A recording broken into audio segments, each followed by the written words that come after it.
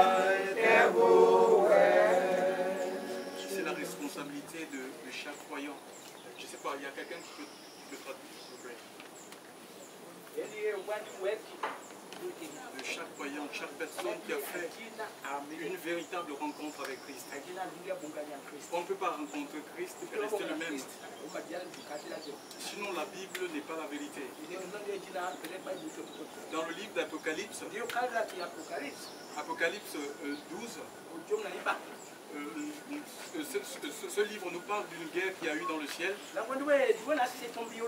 Et Satan a été précipité sur la terre. Il fait la guerre au sang. Et il, il combat tous ceux qui ont le témoignage de Jésus. Donc, quand on a rencontré Christ, il fait de nous une nouvelle création. Il change notre vie. Chers frères et sœurs, et notre responsabilité maintenant, en tant que sauvés, c'est de proclamer la bonne nouvelle. C'est de partager l'évangile. C'est de témoigner, euh, euh, c'est de dire ce que Christ a fait dans notre vie. C'est ce qui permet aux perdus, à ceux-là qui sont sans Dieu, sans espérance divine, de, de, recevoir la grâce de Dieu, de saisir la grâce de Dieu, afin de rentrer dans la famille de Dieu. On ne peut pas croire si les gens, le message n'est pas libéré. Les gens ne peuvent pas se donner à Dieu si ceux qui retiennent, ceux qui ont la vérité,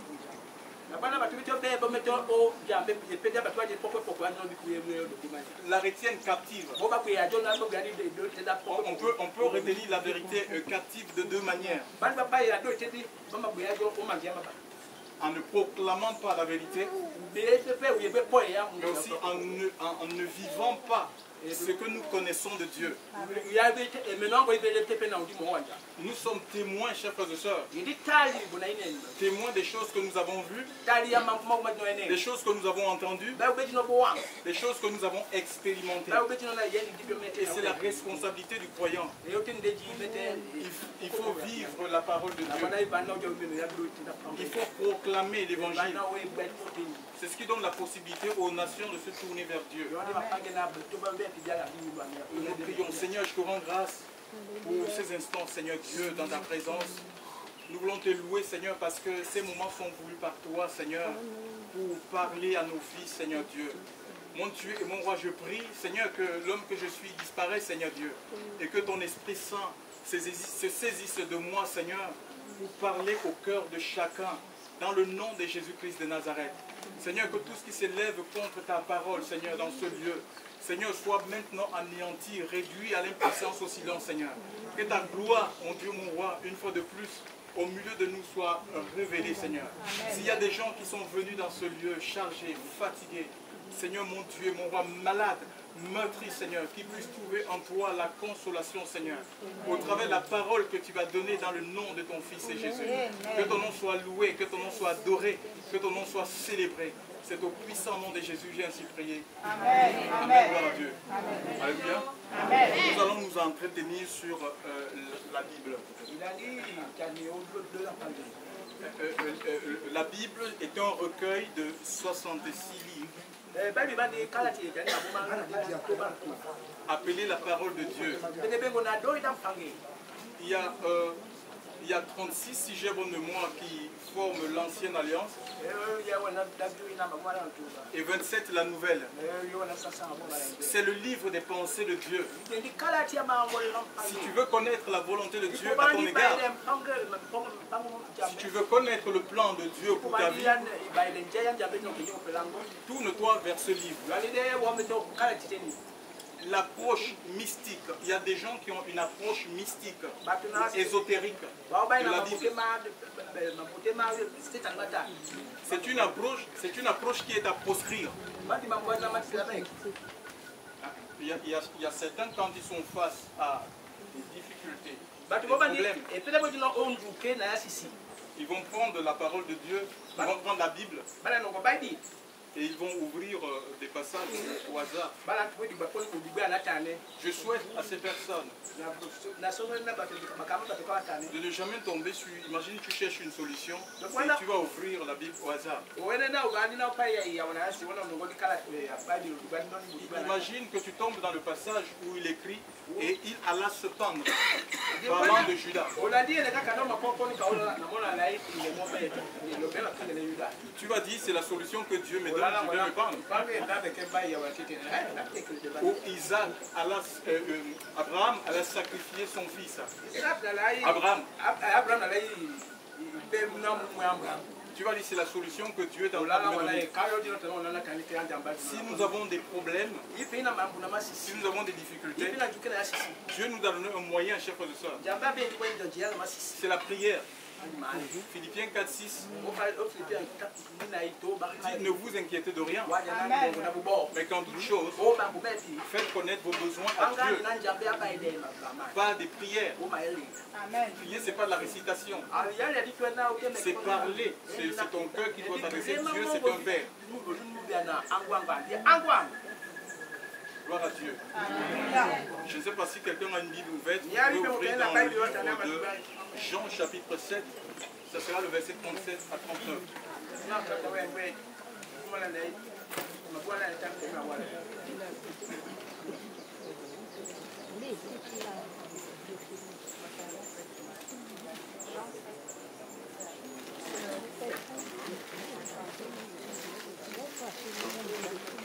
Jean 7, 37 à 39.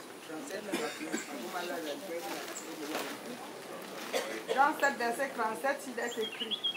Le dernier jour, le grand jour de la fête, Jésus, se tenant debout, s'écria. Si quelqu'un a soif, qu'il vienne à moi et qu'il boive.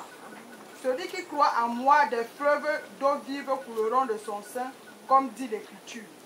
Il dit cela de l'Esprit que devaient recevoir ceux qui croyaient en lui car l'Esprit n'était pas encore, parce que Jésus n'avait pas encore été glorifié. Donc l'Esprit n'était pas encore, parce que Jésus n'avait pas encore été glorifié. J'ai suivi un, il y a euh, l'intercesseur, le, frère qui a conduit dans l'intercession. Il implorait Dieu de donner l'esprit. L'esprit euh, euh, à notre temps l'Esprit est déjà donné. Depuis la Pentecôte, le Saint-Esprit a été répandu dans la vie des disciples. Jésus, dans, autant, ou quand Jésus euh, donnait cette parole, à son époque, l'esprit habitait dans la vie de quelques privilégiés. Il fallait être prophète. Il fallait être euh, sacrificateur. Il fallait être roi, juge, pour avoir l'esprit sur toi. Donc Jésus, il a fallu que, il a fallu la mort il, a fallu la mort, la, résurrection et l'ascension du Seigneur pour que euh, le, don de l'Esprit devienne une réalité dans la vie du croyant. Ce n'est pas la particularité d'une élite. Il ne faut pas être bishop pour avoir euh, le Saint-Esprit. Il ne faut pas être un cardinal. Un pape. L'Esprit de Dieu est à la portée de tous. Il dit celui qui croit en moi. Les fleuves d'eau vive couleront de son sang, de son cœur, alléluia, jusque dans la vie éternelle. Ça veut dire que quand Dieu nous donne l'esprit, c'est maintenant, c'est demain, c'est après-demain, c'est tous les jours jusqu'à ce, jusqu'à ce que Jésus, jusqu'à ce que Jésus vienne.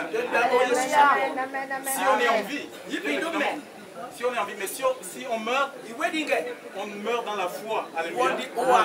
Et, la Bible nous dit, dans le livre de Romains chapitre 8, Romains chapitre 8, verset 9, que celui qui n'a pas l'esprit de Dieu, ah, il ne lui appartient pas.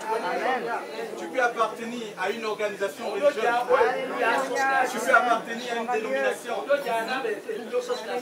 Tu peux appartenir à la plus, la plus vieille, euh, euh, la plus vieille église du monde,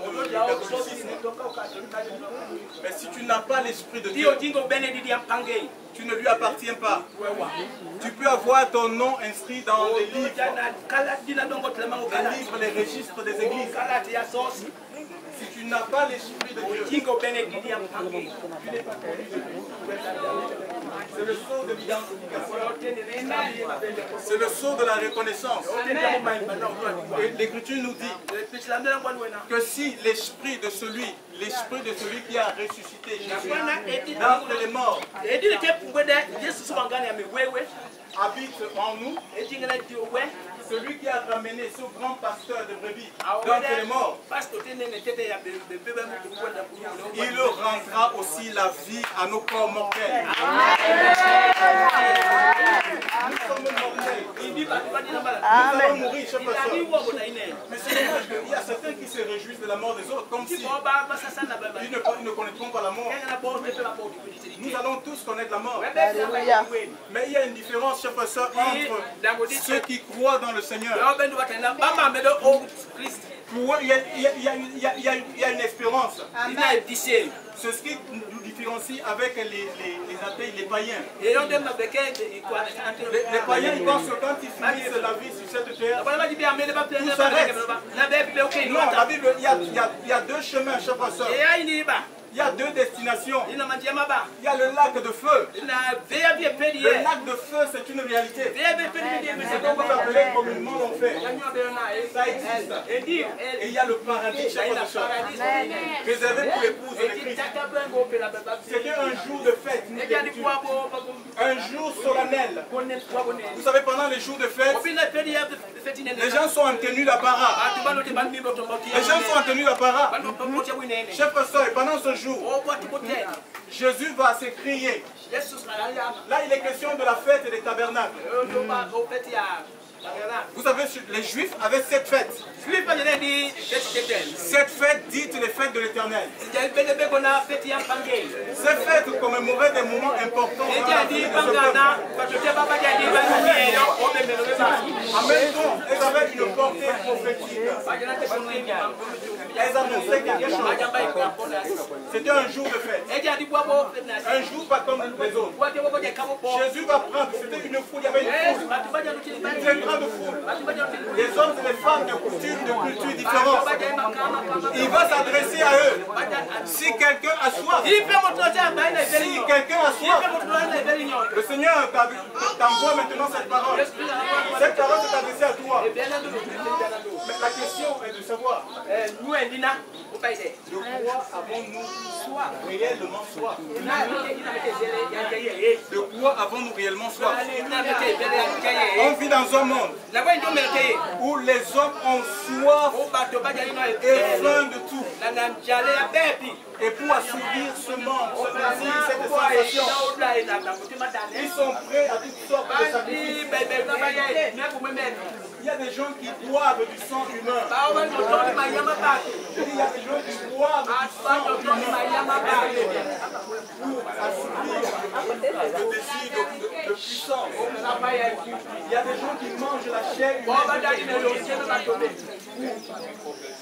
des promotions, pour des promotions. Il y a des gens qui sacrifient des enfants. Ils se rendent dans loges maçonniques. Dans la rose croix. L'agnos.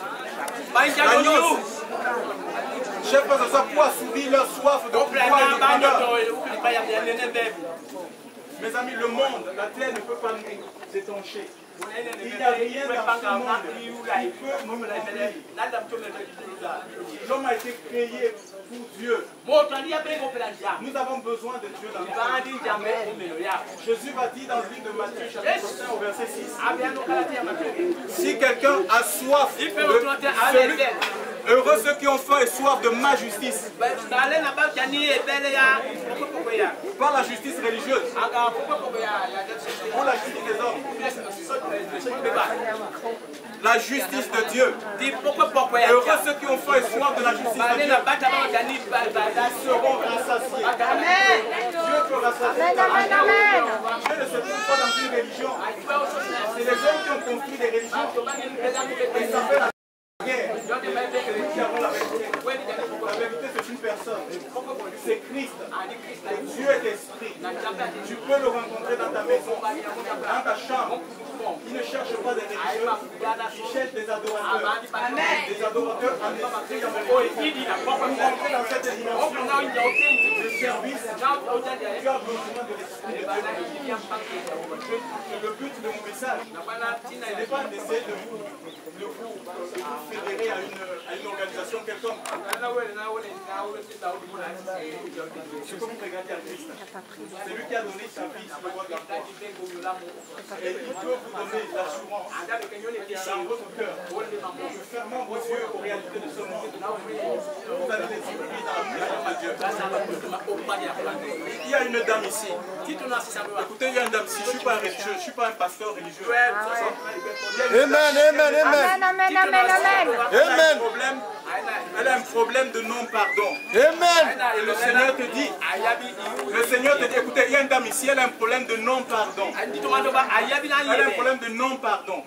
Elle dit, je ne pardonnerai jamais. Même la, personne est morte. Elle continue à haïr cette personne jusqu'à sa tombe. Écoute, écoute, écoute ce que le Seigneur te dit. Et cette femme, elle, elle- elle a beaucoup de maladies. Elle ne comprend pas pourquoi euh, elle n'arrive pas à s'en sortir. On ne peut pas fuir la, la vérité de Dieu. Le Seigneur lui a déjà parlé de ce un problème. Si vous ne pardonnez pas aux hommes leur offense, celui qui est dans le ciel ne pourra pas.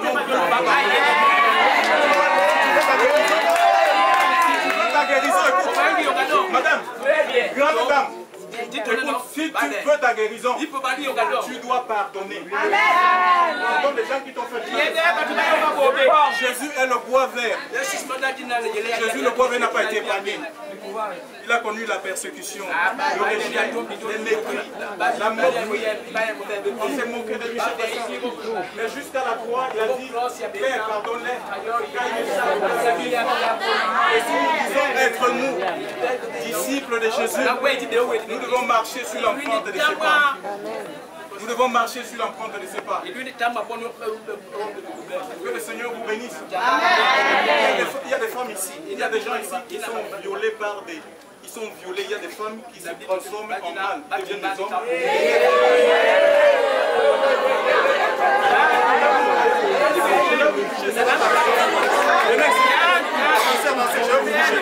vais vous toucher, vous ne vous jamais.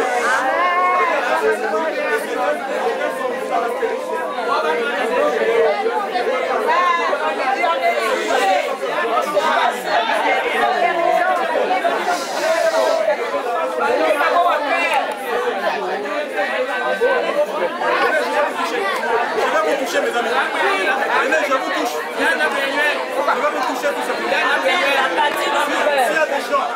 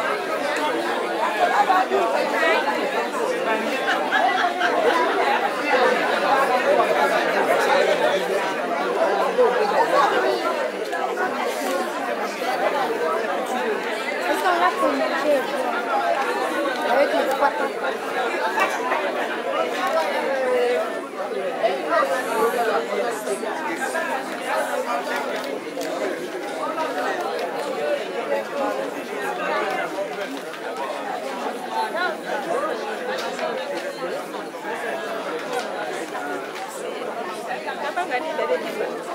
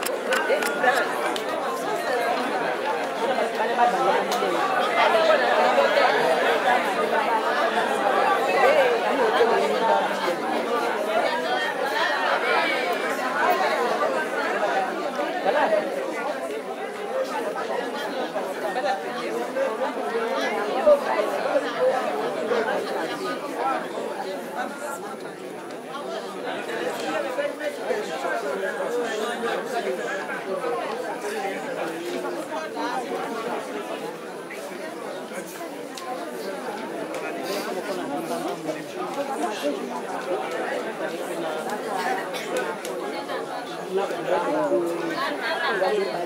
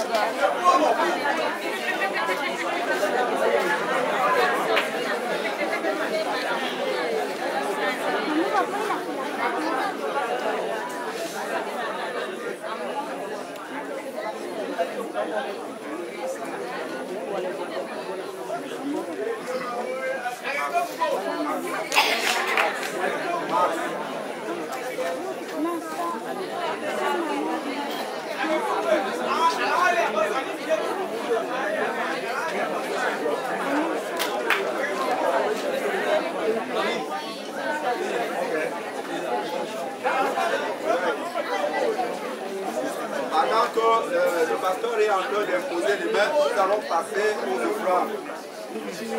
Aux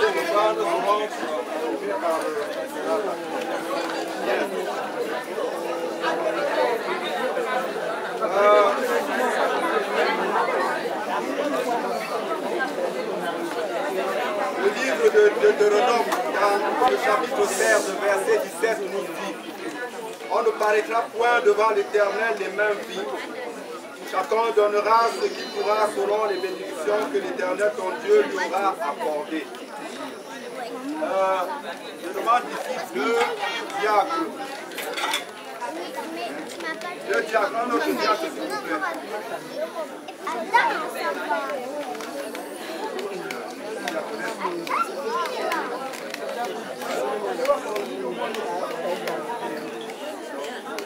Non!